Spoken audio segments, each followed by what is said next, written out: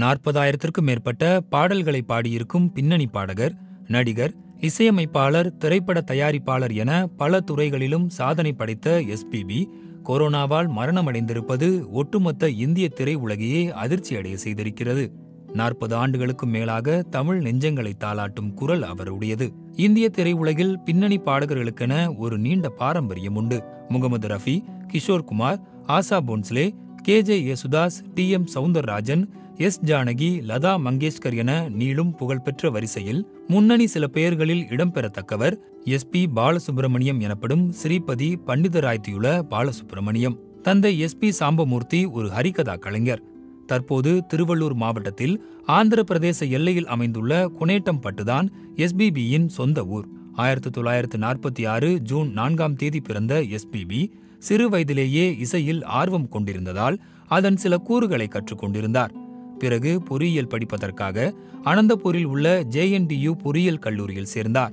பிறகு அங்கிருந்து விலகி சென்னையில் உள்ள associate member of the institution of என்ஜினியர்ஸில் இணைந்து பொறியியல் படிப்பை படித்தார். படிக்கும் காலத்திலேயே பல்வேறு பாட்டுப் போட்டிகளில் கலந்து கொண்டு வெற்றி பெற்ற பாலசுப்பிரமணியம் ஆயிரத்தி தொள்ளாயிரத்து அறுபத்தி நான்கில் மெல்லிசை கச்சேரி குழுக்களுக்கான பாட்டுப் போட்டி ஒன்றில் கலந்து கொண்டு முதல் பரிசை பெற்றார். அந்த போட்டிக்கு நடுவர்களாக இருந்தது தெலுங்கு இசையமைப்பாளர் எஸ் பி கோதண்டபாணியும் பாடகர் கண்டசாலாவும். இந்த நிகழ்வுக்கு பிறகு எஸ் பி கோதண்டபாணி இவருக்கு குருவும் வழிகாட்டியுமானார்.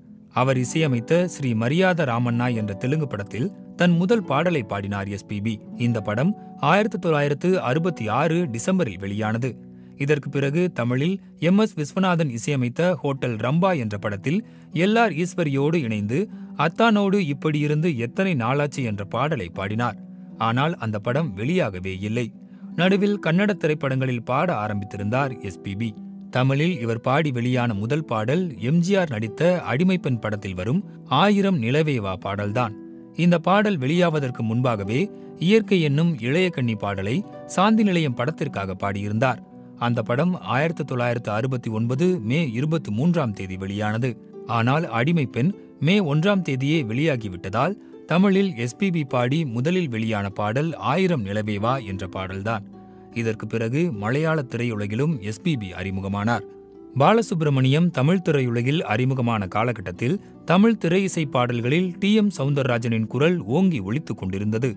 எம்ஜிஆர் சிவாஜி ஆகிய இரு உச்ச நட்சத்திரங்களுக்குமே டி எம் சவுந்தரராஜனே பாடிக்கொண்டிருந்தார் உச்ச நட்சத்திரங்கள் இருவருக்கும் வேறு குரலை பாட வைத்தால் ரசிகர்கள் ஒப்புக்கொள்வார்களா என்ற தயக்கம் இயக்குநர்களுக்கும் இசையமைப்பாளர்களுக்கும் இருந்ததால் நீண்ட காலமாகவே டி எம் சவுந்தரராஜனுக்கு மாற்றே இல்லை என்ற நிலை இருந்தது.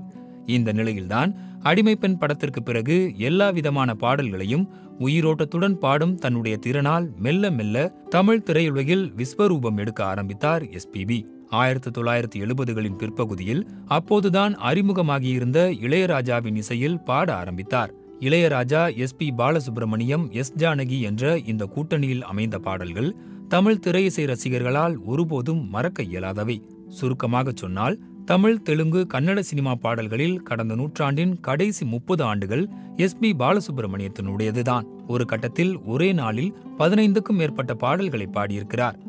ஆயிரத்தி தொள்ளாயிரத்தி எண்பத்தி ஒன்று பிப்ரவரி எட்டாம் தேதியன்று உபேந்திரகுமார் இசையமைத்த பதினேழு கன்னட பாடல்களை காலை ஒன்பது மணியிலிருந்து இரவு ஒன்பது மணிக்குள் பாடி முடித்தார் எஸ்பிபி ஒரே நாளில் பத்தொன்பது தமிழ் தெலுங்கு பாடல்களையும் இந்தி இசையமைப்பாளர் ஆனந்த் மற்றும் மிலிந்த் இசையமைத்த பதினாறு இந்தி பாடல்களையும் ஒரே நாளில் பாடி சாதனை படைத்தார். ஆயிரத்தி தொள்ளாயிரத்தி எண்பதில் வெளிவந்த சங்கராபரணம் எஸ் பி பாலசுப்ரமணியத்தின் புகழை அடுத்த கட்டத்திற்கு எடுத்துச் சென்றது. கே வி மகாதேவன் இசையமைத்திருந்த இந்த படம் சாஸ்திரிய இசையை அடிப்படையாக கொண்டிருந்த படம். எஸ்பிபி சாஸ்திரிய இசையை முறைப்படி படித்தவர் இல்லை என்றாலும் இந்த படத்திற்காக சிறந்த பின்னணி பாடகருக்கான தேசிய விருதை வென்றார். தெலுங்கில் சிரஞ்சீவி நடித்த படங்களுக்கும் தமிழில் ரஜினிகாந்த் நடித்த படங்களுக்கும் பெரும்பாலான டைட்டில் பாடல்கள் எஸ்பிபி பாடியதுதான். எஸ்பிபி தன் பாடல்களுக்காகத்தான் பெரிதும் அறியப்பட்டவர் என்றாலும் அவர் ஒரு சிறந்த இசையமைப்பாளரும் கூட. தவிர நல்ல நடிகர் சிறப்பான பின்னணி குரல் கொடுப்பவர் என பன்முகத்தன்மை கொண்ட கலைஞர். தமிழ் தெலுங்கு கன்னடம் என நாற்பத்தி ஐந்துக்கும் மேற்பட்ட திரைப்படங்களில் எஸ்பிபி நடித்திருக்கிறார்.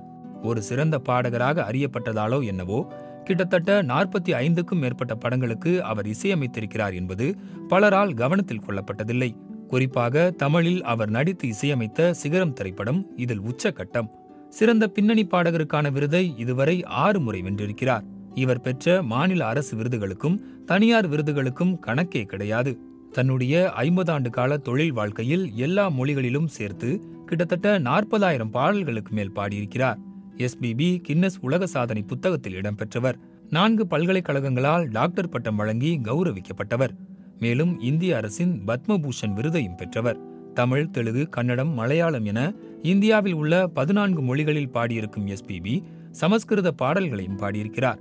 சாகர சங்கமும் சுவாதி முத்தியம் ஆகிய இரண்டு படங்கள் தவிர கமல்ஹாசன் நடித்து தமிழிலிருந்து தெலுங்கிற்கு மொழிமாற்றம் செய்யப்பட்ட எல்லா படங்களிலும் கமல்ஹாசனுக்கு குரல் கொடுத்தவர் எஸ்பிபி தான்.